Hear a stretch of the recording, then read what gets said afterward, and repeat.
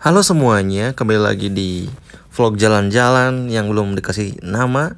Kalau sebelumnya kita upload bagaimana cara masuk ke Thailand menggunakan kereta, sekarang kita bagaimana caranya menggunakan bis kembali daripada Thailand ke Kuala Lumpur.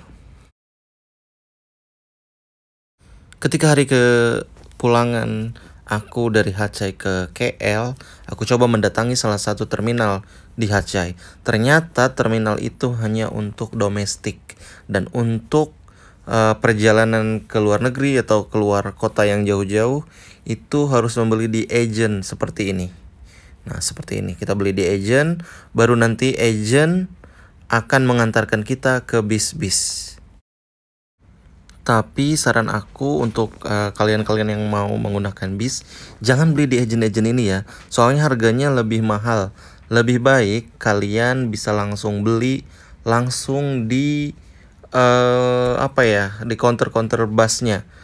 Nanti setelah ini di video selanjutnya aku akan kasih tahu di mana kalian beli. Jadi si bisnya itu nggak ada di ini ya, nggak di terminal. Jadi kita di bawah pakai tuk-tuk menuju bisnya gitu. Ini kayaknya nggak tahu masih nunggu orang lagi apa enggak apa langsung.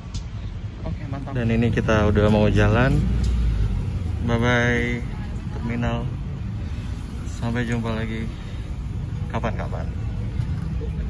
Ini kita di tuk-tuk. Mantap sekali.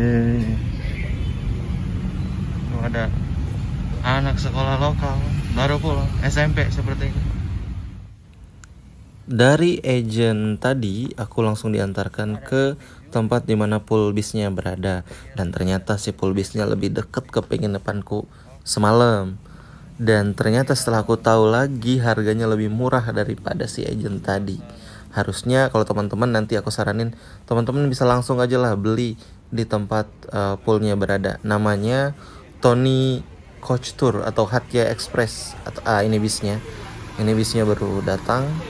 Boleh teman-teman nanti cari aja di Google Maps. Nah ini namanya. Hatchai Tony Suasana Tour.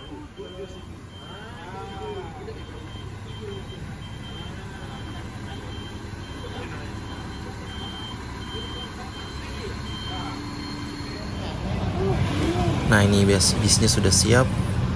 Mari kita masuk dan cek dalamnya kayak gimana. Nah ini kursinya. Dia tipenya 21 ya 2 2 terus kemudian ada satu kayak gitu. Dan cukup nyaman sekali ada chargernya juga. Untuk 9 jam perjalanan ini cukup nyaman. Di bis sendiri fasilitasnya kita nanti diberikan air minum dan selimut. Itu aja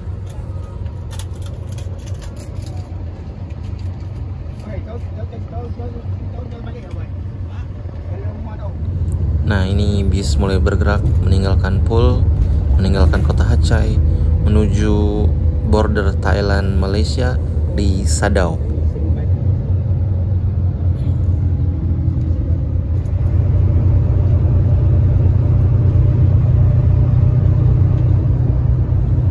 Ini adalah kondisi jalanan sebelum perbatasan.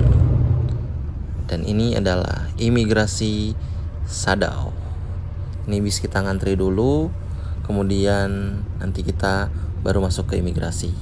Nah itu adalah imigrasinya. Imigrasi Thailand.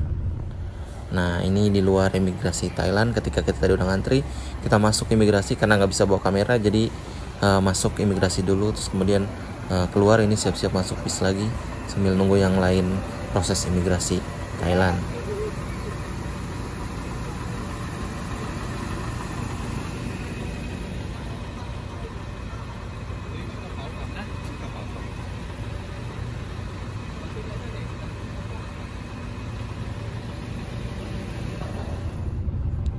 Setelah imigrasi Thailand selesai, kita langsung kembali lagi ke bis dan siap-siap menuju imigrasi Malaysia.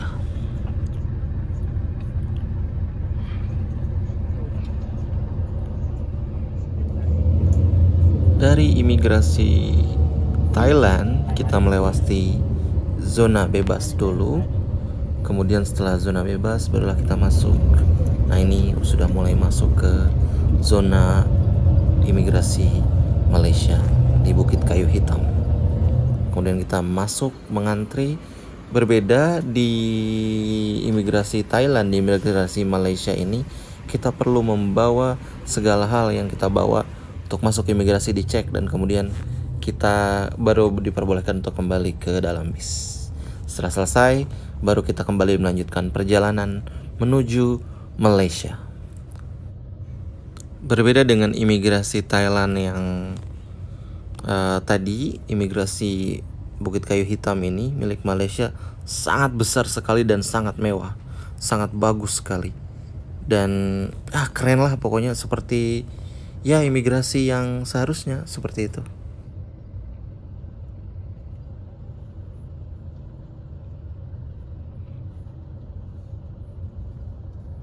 Setelah proses imigrasi selesai, barulah kita boleh masuk ke wilayah Malaysia dan melanjutkan perjalanan melewati Bukit Kayu Hitam dan tinggal tidur menunggu saatnya tiba di Kuala Lumpur.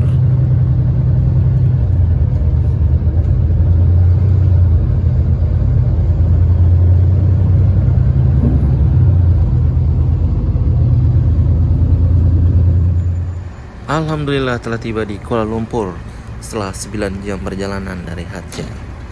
Terima kasih telah mengikuti. Semoga bisa berjumpa lagi di video berikutnya. Terima kasih. Assalamualaikum.